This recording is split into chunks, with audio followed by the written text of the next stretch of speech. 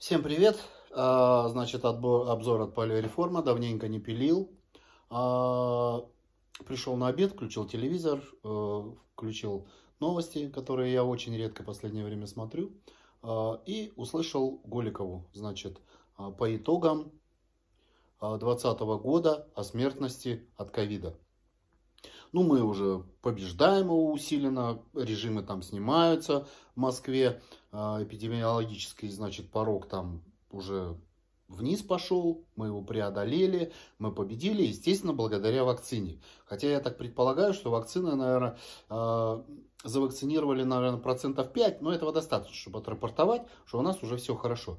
Ну так вот, итоги 2020 года. Значит, Голикова нам о чем рассказывает? Что смертность от ковида у нас именно смертность, э, порог, э, вернее, смертность в России превышена на 17,5%. А, может, я плохо в математике соображаю, но я послушал, что-то у меня там сильно несостыковка какая-то произошла, некий диссонанс такой в голове.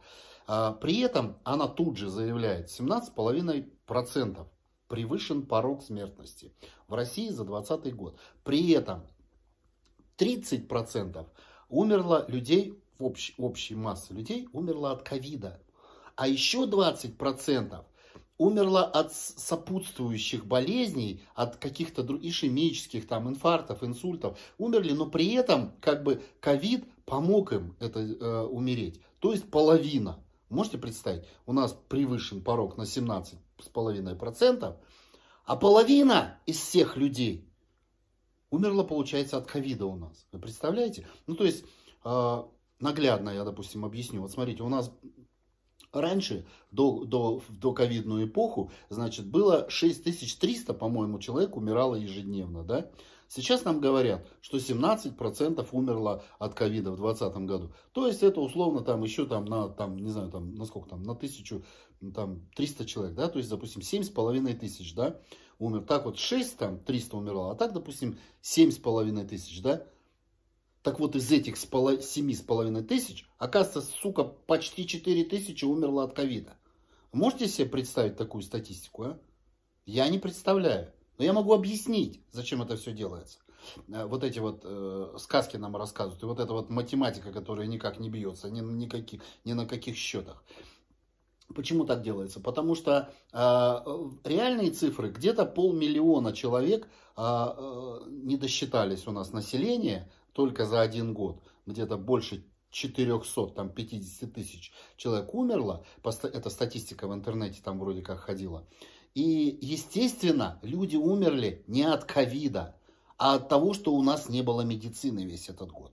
То есть люди были, вся медицина была брошена, хер поймешь на что, при этом средства не выделялись, мало того, что она и так была в анале, наша медицина, так еще и как бы похоронили ее окончательно, позакрывав все онкологические центры, там, сердечные все, вот эти, все в ковид превратилось. Мы лечили только ковид.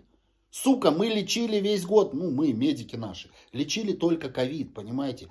А люди умирали, умирали, умирали, тысячами умирали. При этом я еще, я уже не говорю о том, насколько у нас бытовая преступность, когда они сидели в самоизоляции. В десятки раз люди поубивали друг друга. Естественно, они зажали эту статистику. Мы никогда не узнаем, сколько людей просто, сколько, во сколько суицид. У нас в десятки раз суицид повыше. Ну мы, сука, все умерли от ковида, оказывается. И вакцина нас спасет. Вот я, собственно, что вам и хотел коротко сказать. А, как обычно, по телевизору мы слушаем один сплошной пиздеж. Я извиняюсь за выражение. Всем пока. Это был обзор от Полярреформа.